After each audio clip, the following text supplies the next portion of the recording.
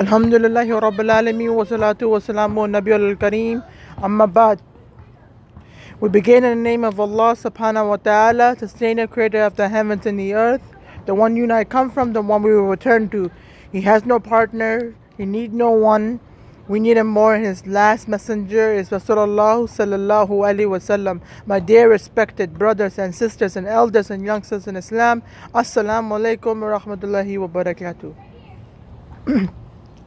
Inshallah ta'ala, first and foremost, I would like to first, um, you know, apologize for not uploading. I said I'm going to do consistency, but uh, technical difficulties happen My apologies. So I'm going to make up by doing short videos. Uh, today, inshallah, uh, my goal, inshallah, and, and don't get mad at me if I don't do it, but my goal is to do a short five videos. Five videos, not one, two, three, but five. So inshallah, I'm going to be uploading quite a few videos.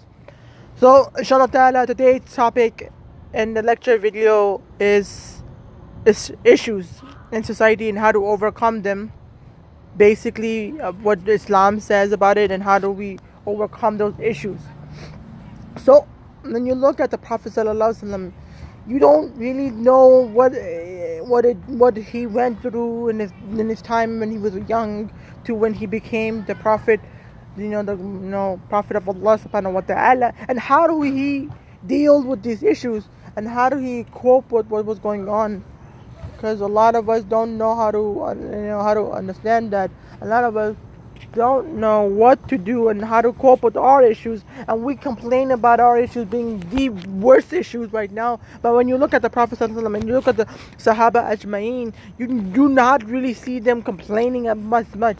And even if they did allah revealed an ayat in the quran where uh, answer the question for the for those people.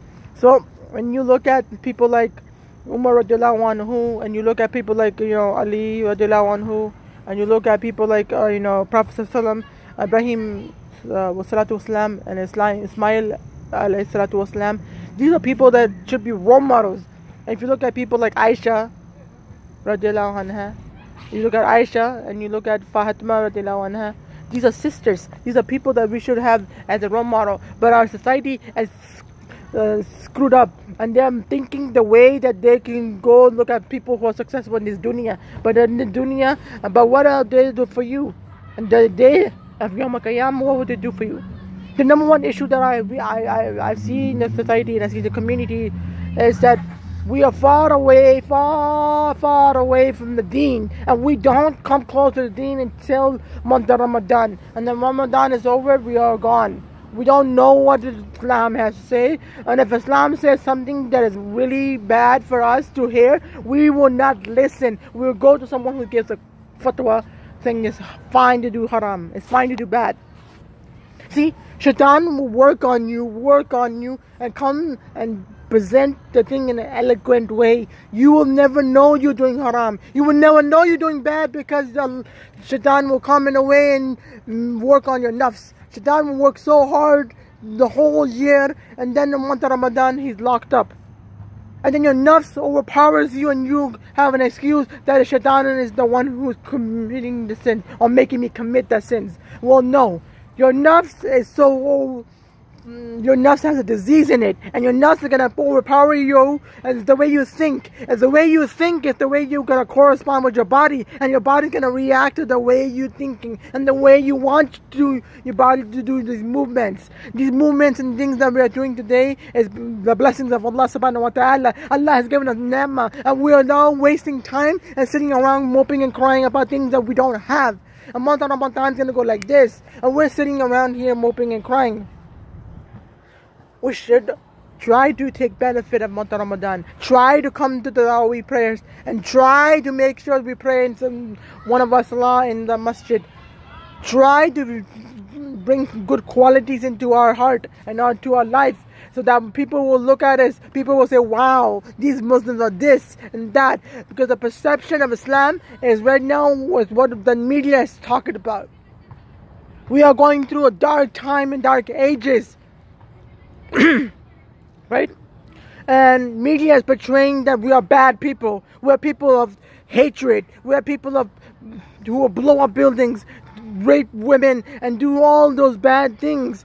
But in reality, we're never nothing like that. We're not even an inch like that. It's what media wants to people to think that we are bad people. But for us, it's a test from Allah subhanahu wa ta'ala. And how do we react? And how do we cope?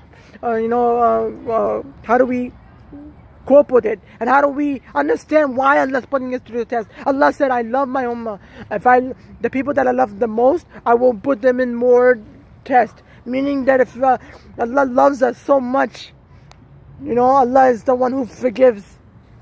He will keep forgiving you if you go and ask for forgiveness from Allah subhanahu wa ta'ala. But if you are showing off the bad deeds you have done on the day Yom Qiyam, Allah will not hide your bad deeds. Allah will show I will show everything from the day you were born till you die.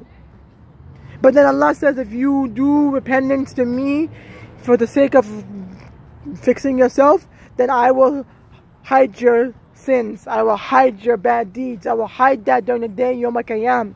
And brothers and sisters and elders and youngsters in Islam, we need to wake up. We need to wake up. Issues right now rising high in the sky, whether it's uh, women. One of the issues that I see is our women. They're getting abused.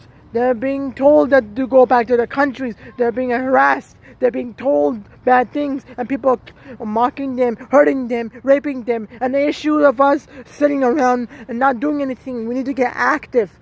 We need to get active and come up with solutions to fix the problem, to come up with a solution to where we can fix these issues that are happening in our society, in our communities, and the economy is going to go booming up. But the, the cause and effect, the cause and effect is the thing I'm telling you. If the effects of the things that they're doing is bad, it will always stay bad. And it's not us to sit around and complain. You know, we need to stand up and we don't realize the way our sisters are going through the test. They wear the abaya, they wear the cap, they're wearing the, you know, the hijab. And you don't realize that 90 degrees outside, you know how hot it is? For us, it's really hard to even manage to be outside. When we're walking just to our car, we'd be like, oh my God, it's so hot. It's Ramadan. I can't even drink water. See, when the people halfway around the world, when the people halfway around the world are suffering, we here have the blessings and the ni'mah, but we're not even grateful for that. We're abusing basically Islam. We don't want to hear what's the true Islam. We want to hear what Islam has been converted into.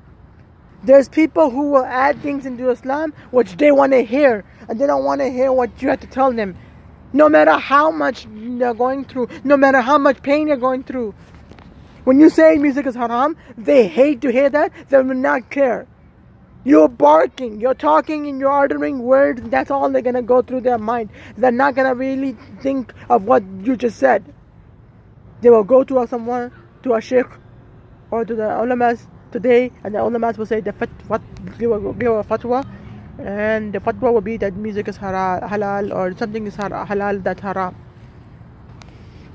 The issue that we have right now is our youngsters and our youth, our communities, and our communities, and our masajid, and our masalla, and a different the, not just masjids and masallas, but in general, our society can never ever accept our youngsters and our youth because they're doing such a great work. They're on the forefront right now. As you see doctors, you see engineers, you see lawyers, you see uh, ulamas, you see imams, you see youth coordinators, and a lot of these institutions and masajid and, and you see all these musallas and you see different organizations and the forefront is our youngsters our youth. We have to give them a little more credit but the issue is that our youngsters and the youth are facing bullying.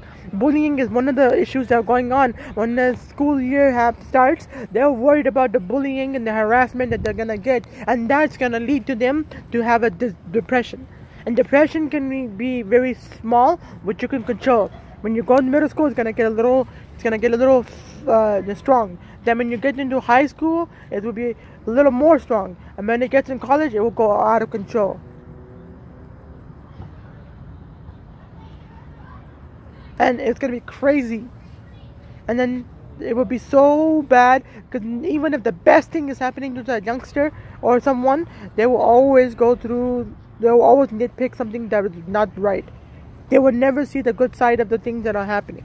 So we need to really give a credit to our youngsters and our youth and we try to make sure that we can engage the youth in our community because you never know what ideas they have. You never know they can come up with a solution to our problems. And that is exactly what we need to work on. Working together for the sake of Allah subhanahu wa ta'ala, we have to understand the reality, brothers and sisters and youngsters and elders in Islam, is a lot of us really don't, can't accept because we don't take them, uh, we, don't, we don't think they're mature enough to handle the responsibility but we have to understand why Allah is putting us through this test and why and how to overcome those issues rather than complaining about those issues. Another issue that we have is our brothers and our brothers and sisters and youngsters and elders. Some of them they do good work, they do act of good. Now you could see saying, "Wow, mashallah, they're doing an act of good," but they want something in return. They want something in return because they said we're putting our effort, we're putting our time, and we're giving up our weekends or the whatever days that they were they're doing this act of good kindness and act of good. Okay, now I want to I want something in return. I want the status. I want people to recognize me. I want people to say mashallah. I want people to say this and that. And then that's when your heart's not pure. If your heart's not pure, you can do a hundred good deeds. Yes, you can do a hundred good deeds. And a lot of the hundred good deeds would not matter to Allah subhanahu wa ta'ala. In the eyes of Allah, you would nobody. Because your intention was not pure. So then there's no barakah in the act that you did, and you're no good to Allah. In order to please Allah subhanahu wa ta'ala, don't ever ask for anything in return. Think that I'm doing this for Allah, and if Allah is pleased with me, that's it. I don't know if Allah is pleased with me, but I'm going to do my best to please Allah subhanahu wa ta'ala. I love His Messenger, Rasulullah sallallahu and I love Allah azza wa jal Allah. There is nothing in the world that I can get in this dunya which will be equivalent to the day of Yom Qiyam, you know, Jannah Firdaus. Jannah Firdaus is where you can ask for anything and Allah will provide it and whatever you're running after is temporarily. You will die one day you will never no one will people why people will cry they will weep and cry and for a week and after a week they will forget you. You will be nothing you'll be nothing to them only your family will remember you but the rest of the people in the community that you were you were sucking up to you're running after they will not care to even ask how are the family doing after your tragedy so why waste time over people who are not going to care for you? I saw a Facebook post. It said, make those your friends.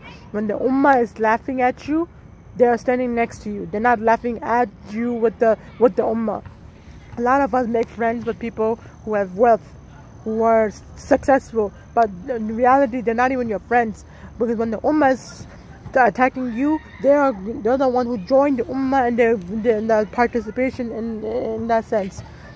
So we kind of had to understand the, the, the, the side that we're talking about. So the reality is that we need to wake up and we need to really think of what we're doing because we are role models for our youngsters. We are role models for, for the, the, the, the, people who are non-believers. If you realize the test for the munafiqeen, uh, the, the munafiqeen is, it is basically when they are going through problems or they're going, so the, the reality, the reality is that uh, for the you know what the, the test for the munafiqeen is? Is this dunya. This dunya is Jannat for those for them.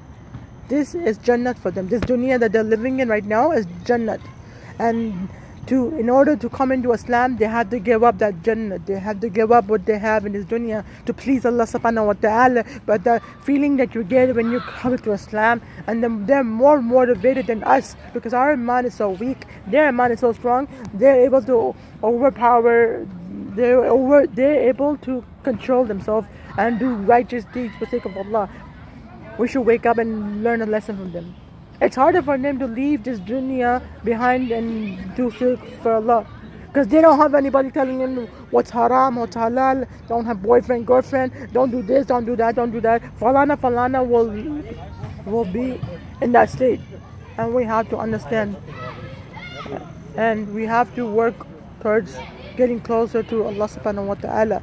So the reality is that how do we think is how do we correspond with our body and then that's how we're gonna do the actions.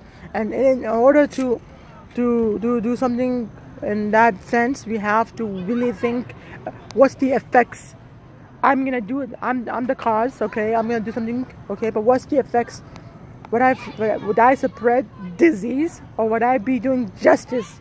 And you don't want people and then you're feeding a prayer not to have anything nice to say to you.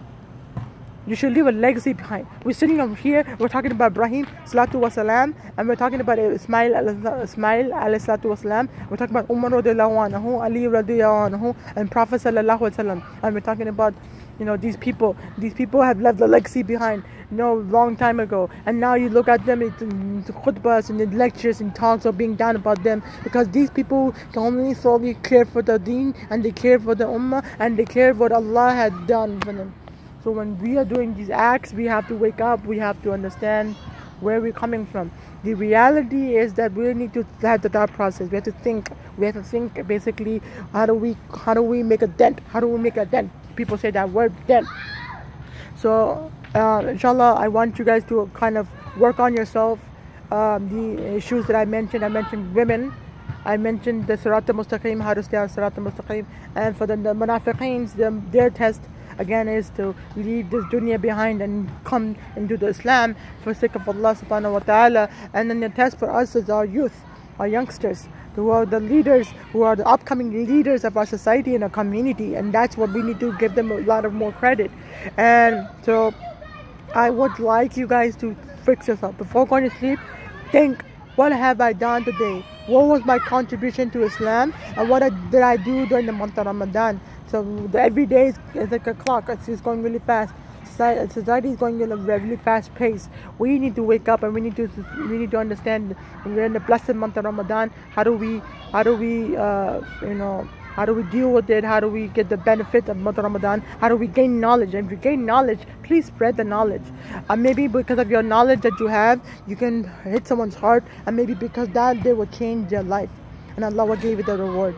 Um, if I said something that was wrong, I apologize sincerely. But if I said something good, it's from Allah subhanahu wa ta'ala. Uh, Jazakallah khair for watching the lecture video. Um, keep tuning in. Uh, inshallah, uh, my apologies again. I will try my best to do, uh, you know, consistency the videos and um, just keep tuning in on the Ali Syed page, uh, YouTube channel, Ali Syed YouTube channel. That's the name of the YouTube channel. Uh, so yeah, inshallah. See you guys tomorrow and see you guys tonight because I'm gonna be doing I'm gonna make up videos. I said five videos today, five videos tomorrow, five videos from now on. Jazakallah khair.